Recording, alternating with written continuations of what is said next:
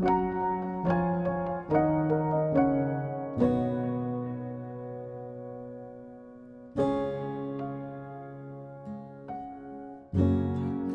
your eyes, give me your hand.